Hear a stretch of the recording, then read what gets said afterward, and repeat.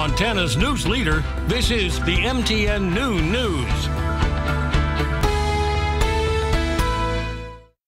Good afternoon. Thanks for joining us on the Noon News. I'm Andrea Lutz. A special recognition for a group in Anaconda. We've got that amazing story coming up.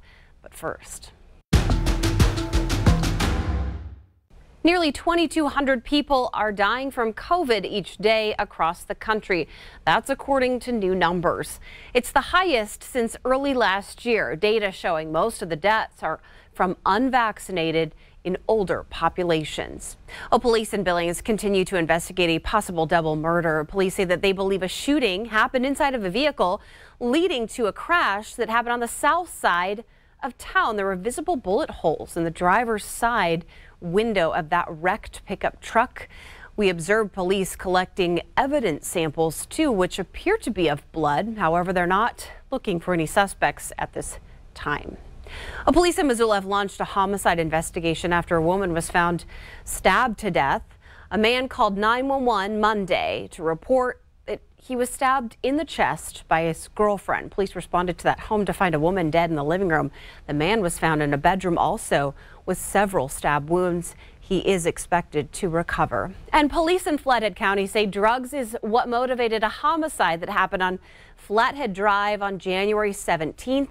The victim is being identified as 42 year old Luke Simpson of Columbia Falls. Well, video evidence of vehicles and witnesses have led to an arrest in that case.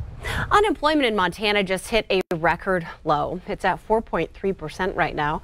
Montana's total unemployment hit that record high, though, back in December.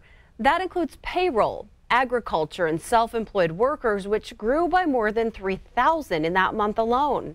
Payroll unemployment also increased by 3,200 with strong job growth in retail. Officials say there's more people in Montana working than ever recorded before. And that's today's leading look. Winds are going to dominate the weather, especially across the eastern portions of Montana into the Dakotas for this afternoon. Some of the top wind gusts could be hitting 30, 40 miles per hour. But by the time we get into tomorrow and Friday, the winds will increase down these slopes of the Rockies, and we're back into the usual windy periods from Cut Bank into the Cody foothills. Here in the short term, we're also watching a cold front sinking down across the region, and that will be mainly tonight through tomorrow, and especially areas east of the Continental Divide, the north facing slopes of the mountains could pick up some additional snowfall and cause some travel concerns first thing tomorrow as the snow melts and then refreezes again. A lot of this will start to clear out as we get closer to the weekend. All the forecast details coming up.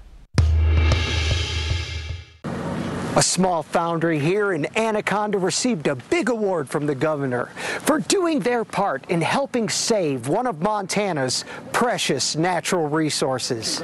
Governor Greg Gianforte presented AFCO with the Spirit of Montana Award for quickly building a part that helped repair a malfunctioning gate on the Hebgen Dam in November that caused a major drop in the Madison River. You know, you got the call at 3:30, shift goes off at 4. The shift stays, you work all night, and we save the Madison River. The general manager was happy to be recognized, but credits his employees. We have fantastic employees who have really hard work ethic, and uh, you know when we have to roll up our sleeves, we know how to do it. He added it was an honor his foundry was able to help out during last fall's emergency. We're all Montanans here, and you know we take pride in what we have here, and, and so you know it really does mean a lot to us from that perspective. And while the workers here at AFCO will tell you they were just doing their job, the governor made a point to let them know that when the state needed them, they stepped up. Again, on behalf of a grateful state, thank you for your swift, successful response so that we could save the river. In Anaconda, John Emeigh, MTN News.